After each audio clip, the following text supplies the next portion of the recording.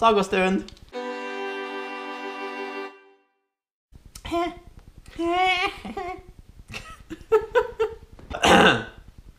Idag tänkte jag läsa en ny berättelse, en lite mer seriös berättelse den här gången.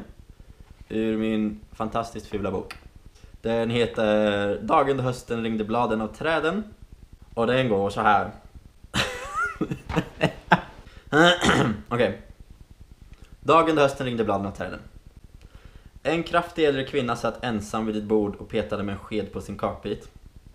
Hon var klädd i en lila blus smyckad med en vit brosch. I öronsnibbarna hängde matchande örhängen och på en stol vid bordet låg en blomsterklädd hatt. Den dyra parfymen gjorde luften i kaféet kvav. Kvinnans blick avslöjade att hon var i en värld långt borta. Kanske funderade hon över vad hon skulle göra efter att ha rest på sig och lämnat kaféet. Eller också tänkte hon på familjen hemma i Sverige. Det kan också hända att hon funderade på livets stora frågor. På varför hon satt där ensam.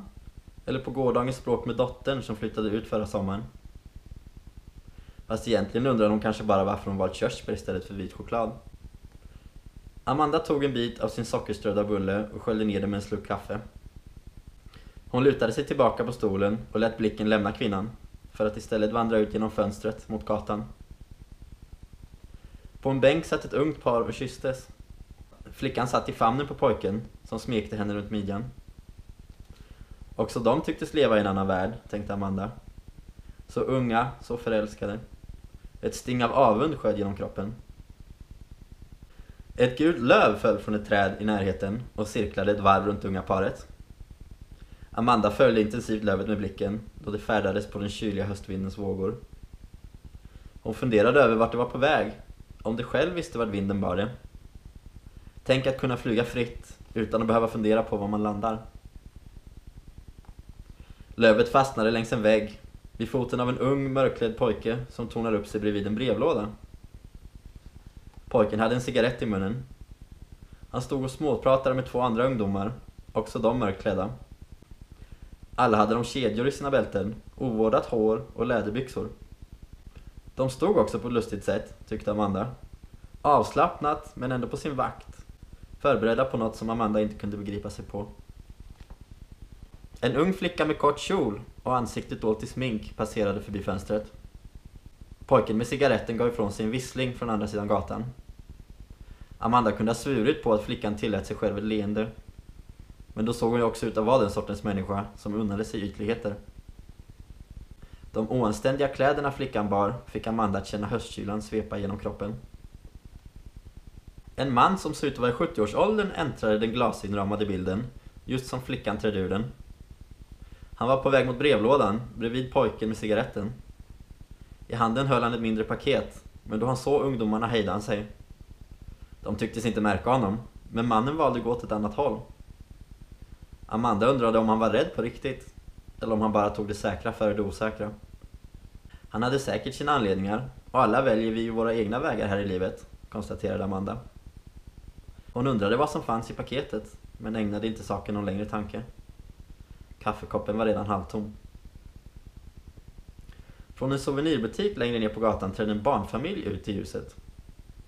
Barnen, en flicka och en pojke, sprang före sina föräldrar och började lekfullt sprida en annars prydlig lövhög som vinden hade samlat längs en vägg. Amanda tyckte att det var lustigt hur lätt ett barn kunde förstöra någon annans verk. Fast vinden hade ju skapat fler lövhögar, så den unnade säkert barnen denna glädje.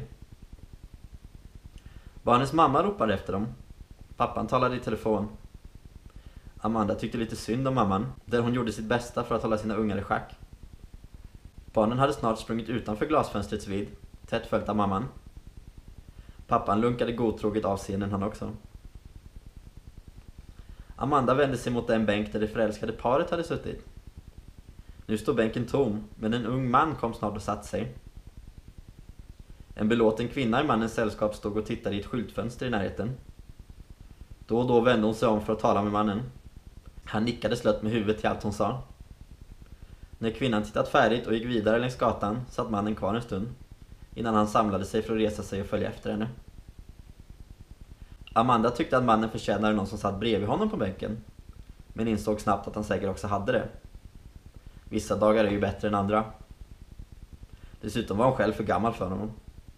Hon ville hitta någon ny, men hennes erfarenheter av romantik hade de senaste åren hindrat henne.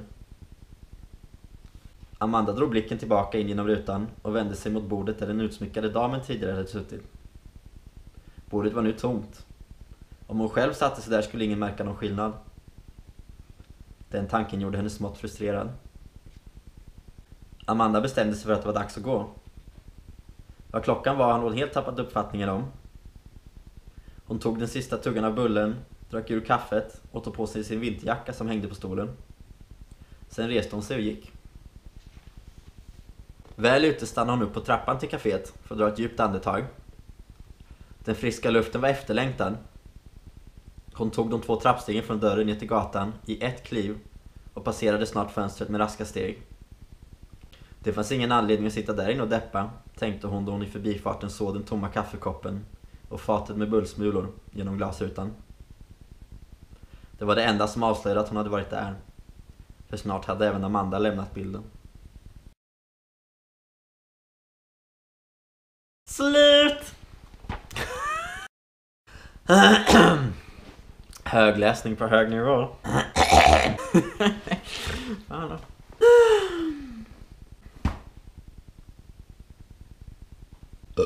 Oj.